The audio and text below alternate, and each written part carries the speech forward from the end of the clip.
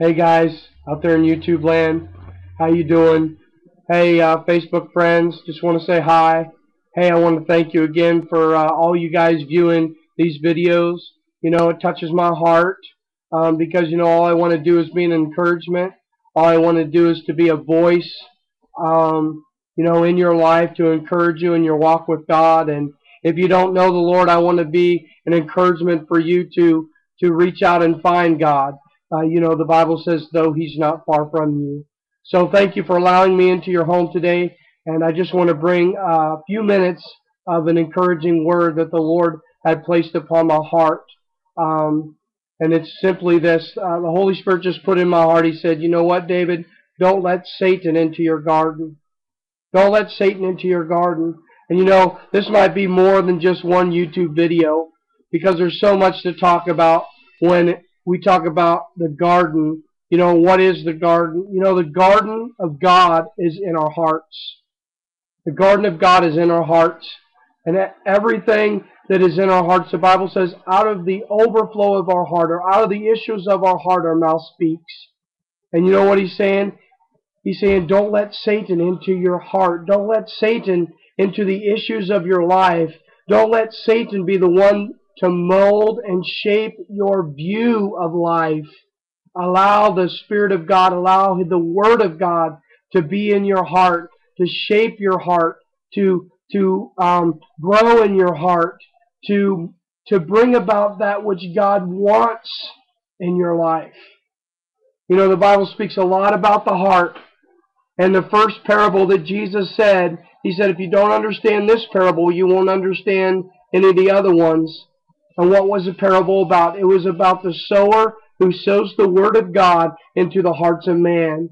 And there were four different types of soil. There was the first soil when there was no understanding, that Satan came immediately and took that which was sown in the heart. The second heart was the second soil or the second heart was the one that received it and was happy about it. But when persecution came because of that word that was spoken, they did have no root in themselves and they fell away. And the third heart, which I really, um, over being a pastor and just being um, in the kingdom of God and, and in God's presence and understanding, you know what? Sometimes the cares of the world, the lust of other things, and the deceitfulness of riches can come in and choke out that which God has placed within our hearts. You know, I make my people at church go like this, and that means me. So whenever you see me go like this, that means I'm talking to me too. And then the fourth heart was the perfect heart, was the heart where God's word came in and where it yielded fruit 30, 60, and 100 fold.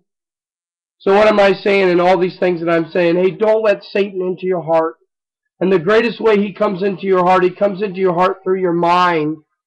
The Bible says that when he came to Eve, he deceived Eve. He put a thought in Eve's mind that said, Did God say? Fill in the blank. You know, did God say? Or what did God say? You know what? Satan could be telling you that today. Did God say he would heal your body? Did God say that he would actually save your family?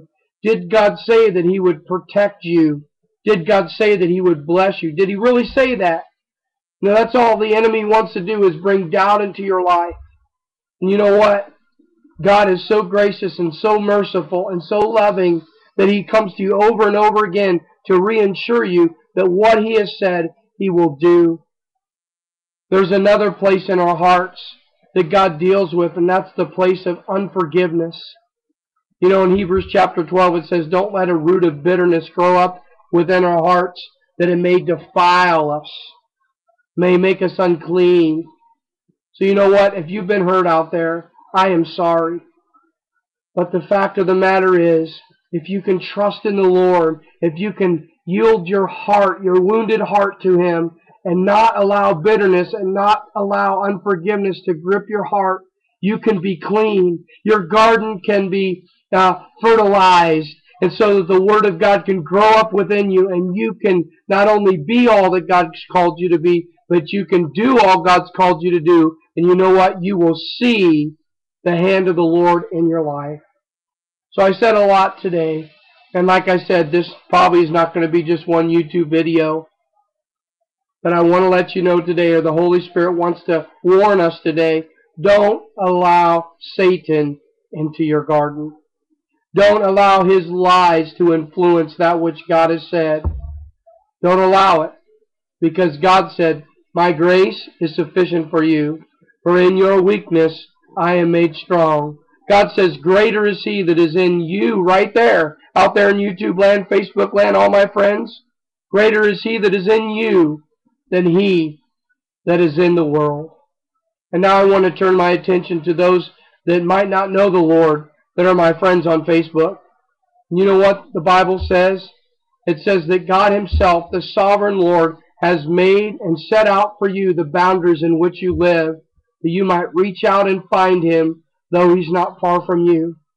You know, Jesus said, if we who are his disciples want you who don't know God to know that he's real, that we must love each other. Because the love of the Father comes on the people who know him and the people who don't know him. God loves you. And every good thing that is happening in your life right now, the source behind all the good is God himself. And he wants you to know that today.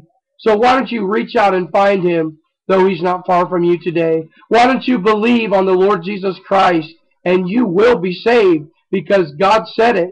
Don't let the enemy come in and steal that word from you. Don't let uh, another day pass you by. You might have had somebody knock on your door. You might have had somebody on your job who's a Christian, who's enthusiastic like myself, talk to you. Don't blow that off. Because you know what? Jesus is knocking on your door and he is telling you the truth. I love you. Accept me into your heart and you will feel and you will receive eternal life. I love you guys. I'm praying for you guys. I'm believing the best for your guys. I'm declaring the, the word of the Lord over your guys' life. So all of us together can, can stand against the enemy and not allow him to come in to our garden. God bless you. Talk to you later. Bye-bye.